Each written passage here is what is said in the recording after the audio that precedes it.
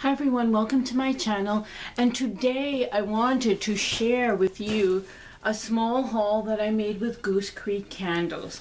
Now this time I only ordered Christmas candles. I only order four. Generally that's usually the number that I order. This one was a buy two get two so I bought two. To be, to explore, to be adventuresome I ordered their Christmas scents instead of ordering backups, which after I smell them may or may not have been a good thing.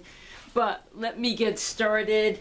I will begin with, here it is, a Christmas Winter Splendor. And one thing I like that Goose Creek does do the pretty labels. Of course, they say Goose Creek on top. The only thing I wish is that these little the name of the candle were a little bit bigger. It's very tiny, but it's a beautiful picture. Red candle, two wick. These are 26 ounces of paraffin wax. And I will read you the scent description. And if any, a lot of these have stories in front of them. I'm just going to get to the nitty gritty of what the candle is instead of the whole thing. So this one says the cool, this is a cool winter scent with red berries, cinnamon, vanilla bean, uh, white cedar, and smoky firewood. I smell cinnamon, I smell berries. You do smell firewood. I don't know about the cedar yet. Vanilla bean, maybe a tweak. It's a very light scent, but I don't know if it's going to be a sweet scent. I was, when I ordered this, I was a little hesitant with this one, basically because um, I didn't want to duplicate the scent that is this one, Yankee Berry, you know, Yankee Candle, Red Berry, and Cedar. I thought, oh, maybe it smells almost identical. Let's go a little different because it is red berries, but red berry and cedar, do you do smell berries and you do smell cedar? This has a stronger note to the cedar and the woods. I think the two scents that are in here, if they say red berry and cedar, you can smell them. There's not a big mix like the other one, Goose Creek. We're going to compare. We shall see. I'll let you know. Next up is, I have to be careful. I have these all on, on the sofa. Uh, this is Christmas tree cutting. Very pretty picture. Two people carrying a cut down tree filled with snow. It looks very pretty. This is a green candle. Wow. Let me get to this one too. Uh, Christmas tree cutting, a mix of sparkling fresh fir needles, eucalyptus, brisk winter mint opens with this aromatic fragrance.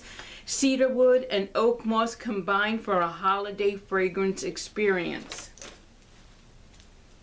You do get the pine needles. You do get the mint. I hope, and you get a bit of the cedar wood. I hope it throws well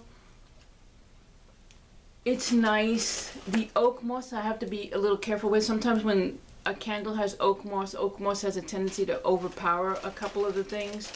So we'll see about this one. But you never know. You never know. Ah, a classic. Balsam fir. Now, if you hear a little bit of rattling, that's my cat. I have paper all over the place from things that I purchased and he's having a really good time making noise, but there it is, balsam fir. Classic, classic. This one has a simple, simple description. A walk along a forest path where the scent of fresh pine needles fills the air. Believe it or not, I like it. It's as simple, as classic as could be. Yes, it does smell like like woods. It just smells like clean, fresh woods. Pine. It's really simple. It's really nice. And sometimes I I like the simplicity of a candle if it just says something and that's all it's going to give me. It's good. Better if it throws well and it's not overpowering, it's even better. And the, the number four. Hi people, there's sometimes, where are you? There are times that when you get a candle, you ask yourself when you smell it, what the heck did I do? What are you going to do? And here is that candle, A Christmas Story. This is like a bluish green almost. Dark, dark color. I'm going to read you the scent description. This has a whole long little thing in front of it. I'm just going to get to the nitty gritty, whatever it's supposed to have in it. This is a cool balsam scent with notes of pine, orange blossom, and caramel musk. When I read that scent description, my big fear place was the orange blossom. I kept thinking, I don't like orange blossom. I don't, I don't, I don't. I called up customer service and I specifically asked her three times, does it smell like orange blossoms? And of course, what is she going to say to me? No, you don't smell any orange blossom. No, no, don't worry, you're going to like it. Orange blossom. Orange blossom. Orange blossom. I don't even know if I smell any kind of woods in it.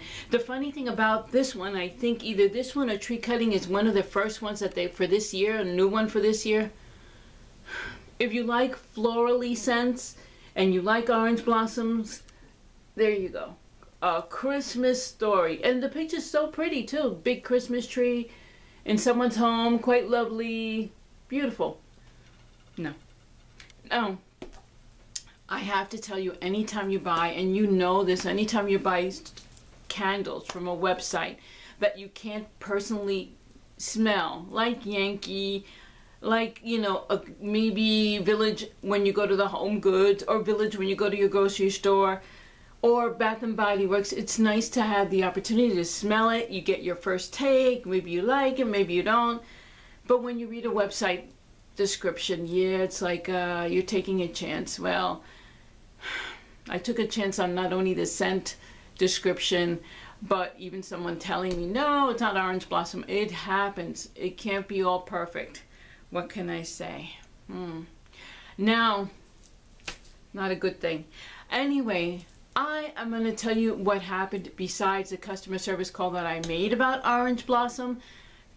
That it does have. Anyway, um, the, there were other things that I asked, I talked about with her. Um, I asked her about Harvest Hayride, and this is the third call I made about this. Harvest Hayride, I had reviewed for you, and I told you that the scent is very, very good, but it has no throw, none, none. And I burned it. I want to burn it because I want to get rid of the jar and finish it off. Now I've been burning it and see this soot that's collected at the top? Basically because it's at the very end, there's a lot of soot. Terrible. I just cleaned it before I burnt this candle too, but you get a lot of soot with these candles. This candle, it had gone all the way down to liquid. It did. It melted all the way down. I put out the wicks with my uh, wick dipper that I showed you and the wicks were moving around because it happens when it goes down to liquid the wick dipper is gonna it's not going to work as well as when it, there's more of a solid base. Anyway, I was trying to think this whole weekend, what could I do with this candle? I want to finish it off, but I want to know if there's any scent that comes out of it. And I know some, some of you have written that they've taken their Bath and Body Works candles and they've set them down on the, you know, the hot plate wax melter and they get extra fragrance because sometimes, sometimes Bath and Body Works wicks, they they go away. And Village Candle, I already told you, yes, they they they don't disappear, but if you have problems with the candle, people put them on wax melters. But there was another method that I wanted to try, and I went to my Boscov's today. Going down, I'm going down. I went to Boscov's today, and I got this thing, which is a candle warmer crock. Now, a candle warmer crock, you've seen them. They look like basically crock pots for candles, and you put a candle inside, and the candle warmer crock will, it's electric, will heat up all the wax, and it's supposed to allow the wax to melt all the way liquefied, but the throw is going to be there. In a way, I wanted one of these because sometimes in my bedroom, I I mean, I want to burn a candle, but I'm a little hesitant because of my cat and because of, you know, there's draperies and I get a little nervous with it. But if I want to leave something on all the time and not worry about fire, I figured let me try this and there is where I'm gonna go with this. I am hoping that this candle Harvest Hayride, which is at its little tiny nothings left, after I put it in here, I'm gonna clean that soot off. Maybe the scent will throw better, but at least I'll get the last bits and pieces of it. With this and any other candle that either the wicks disintegrate, dissolve, fall apart, go away, you can put your large jar in there and you can melt the candle. The only thing I warn you about when you put those things in there, if it does have wicks, you know the wicks are just gonna go into the wax, I believe. So, but I'm gonna try that, and when I try that, I'm gonna let you know whether or not I got anything more from this Harvest Hayride. Anyway, thank you for watching. Don't forget to comment, rate, and subscribe, and take care. Bye-bye.